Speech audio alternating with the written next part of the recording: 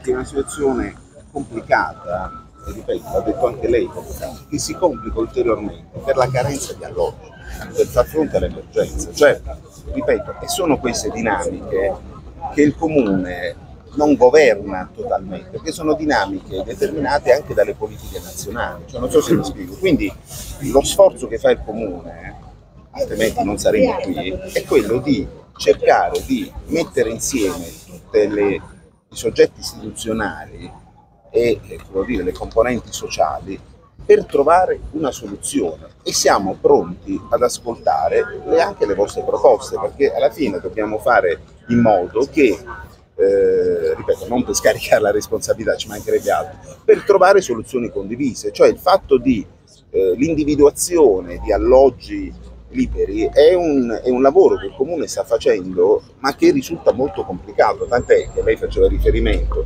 ad alloggi presenti in comuni limitrofi che si è reso necessario perché in città, ripeto, proprio per i fenomeni che ben conosciamo, la riduzione degli alloggi eh, disponibili è drammatica, possiamo dirlo, perché si ripercuote, cioè ha, dei, scusi, ha delle ripercussioni molto gravi su aspetti che sembrerebbero non avere un legame con quelli. Ma dice, ah che bello, c'è il turismo, siamo tutti ricchi, però in realtà abbiamo poi delle conseguenze negative per le fasce sociali più svantaggiate. Allora dobbiamo cercare di capire, seduti ad un tavolo, o voglio dire in qualunque altro contesto, come poter ovviare a questo problema. È chiaro che è complicato perché ciascun proprietario, ciascun soggetto titolare di un diritto di proprietà è libero di fare della sua casa quello che vuole, perché voglio dire è un diritto anche questo costituzionale, per cui bisognerebbe trovare delle forme di incentivo nei confronti dei proprietari per fare in modo che siano più disponibili a destinarle all'affitto.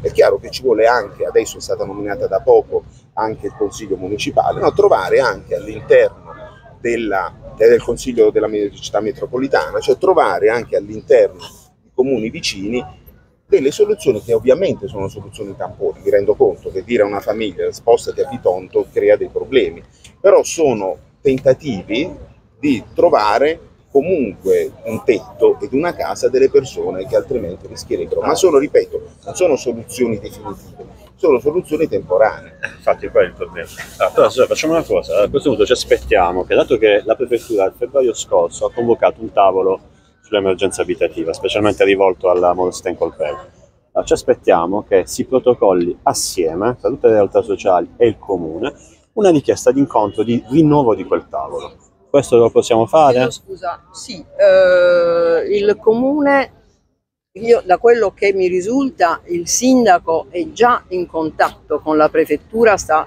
ha avuto già qualche C'è incontro. per le parti sociali però. E, e quindi adesso ne parliamo con il sindaco, oggi però non è che si può andare in prefettura no, oggi, no, oggi. Perché, anche, dicendo, perché, no, anche, perché, non credo che ci sia nessuno dicendo, in prefettura. Stiamo dicendo che dalla settimana prossima non sarà un problema il fatto che protocolliamo assieme come quelle realtà sociali che sono già in quel tavolo riconosciuto e il comune. Adesso, adesso la... individuiamo il procedimento giusto, individuiamo il procedimento giusto per chiedere in prefettura un, un incontro e vi facciamo sapere. Ah, ci sentiamo la settimana prossima.